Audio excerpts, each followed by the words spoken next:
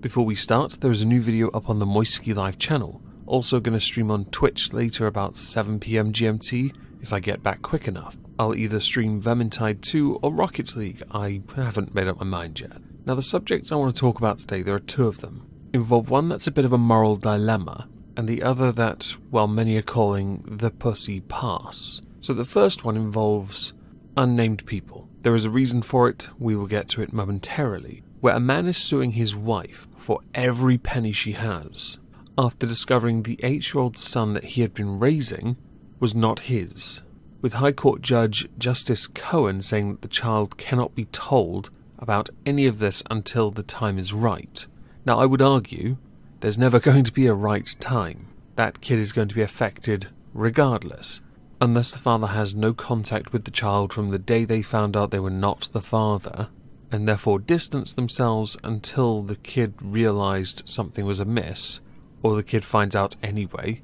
It's always going to be quite tricky. After discovering that the wife had had an affair early on in their marriage, the husband took her to the High Court. Understandably, the father has since been barred from publicising the name of the real child's biological father. I also wonder if perhaps there's a restraining order just in case. He also wants damages to compensate for distress. This is an interesting argument, because on one hand you have a man that has raised a child that is not his while believing the child is his.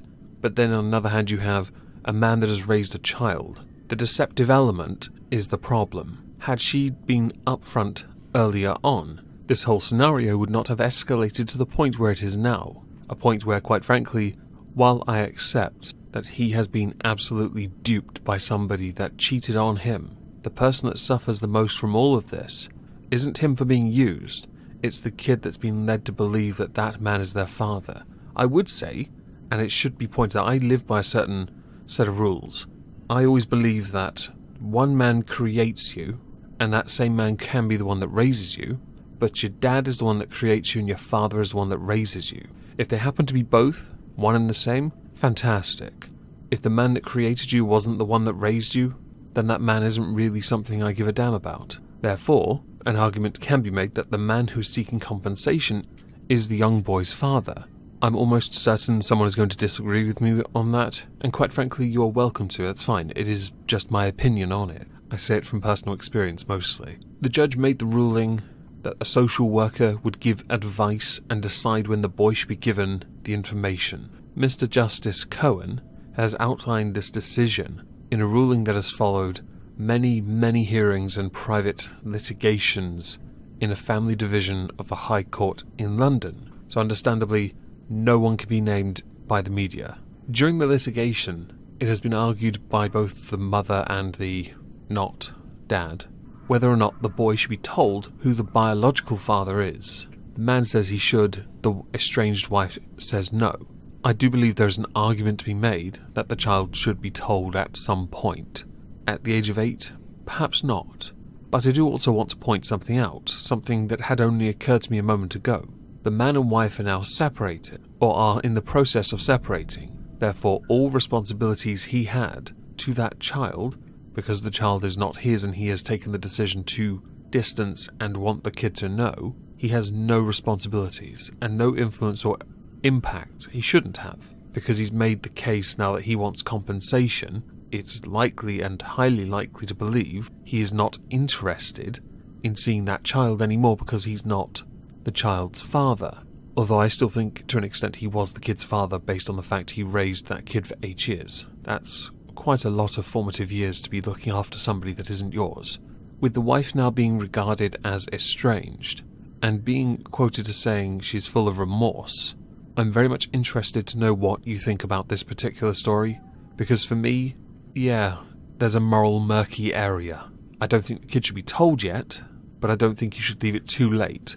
Let's not forget here how teenagers typically take that kind of information. It is quite psychologically damaging. So there never is a good time to tell them that the man that raised them for eight years isn't the man that created them. Let's not forget here that the kid will also then realize, wow, my mum's a slut. But that doesn't matter, in the grand scheme of things anyway. I'm also interested to know what you think about the claims for compensation.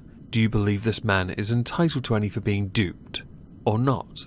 I myself am unsure, which is why I'm okay to ask you guys. I think given time, this might have a ruling when it comes to compensation, but I'm not sure what kind of compensation can you get from somebody in these circumstances. Are you going to have all the receipts for all the things you bought the child? Under the pretense of you now saying they're not my child? This could set a very dangerous precedent, by the way. Not just for those who have obviously been duped, because that would make some sense, but for those who are step parents who spend money on kids and then separate, and then decide, I want my money back. So I think it's quite interesting. The second story I want to cover involves a mother who lied a little bit to the tune of about 10 grand. She claimed she couldn't walk or go to the bathroom without help. In doing so, she managed to get £10,000 in disability benefits despite working full time as a crime advisor. Kind of sounds like a knockoff Hercule Poirot, but what do I know? Is she Belgium? Does she have a mustache? With no level of irony to what she does for a living for the Staffordshire Police HQ, she was seen on their CCTV footage walking up two flights of steps, walking along footpaths, in fact, doing many things that she should not be able to do without any level of assistance. After pleading guilty to charges of falsely claiming the allowance, which would include disability living, employment support, and housing benefits, she was sentenced to 12 months in jail, which was suspended for two years. She was also ordered to pay 1800 instead of the 10 grand in installments of £50 a week and then complete a 30 day rehabilitation program until the lady in question has some issues, which of course are now at the forefront of why people think, hmm, maybe that was why she got a pass. See, she has PTSD after serving in Iraq and is suffering from another few medical issues. It always is the case that when somebody commits a crime, mental health is brought up, and it's understandable because mental health is incredibly important there is a trend that when it comes to female criminals, let's go with that, the pass always seems to be on mental health. That same does not apply to men. That does appear to the majority of people to be sexist, biased, misandrist, whatever you want to call it. I personally believe in individual cases being treated individually as opposed to the group, but then others will take that and correlate it all regardless. I do think if she stole 10 grand, she should pay back 10 grand, not 18% of it. That's not how this works. If I knew that, I'd rob a bank and just give them back 18% of what they had in their vault, because all I'd get in return is a 30 day rehabilitation program and a suspended sentence. It's just ludicrous, really, isn't it?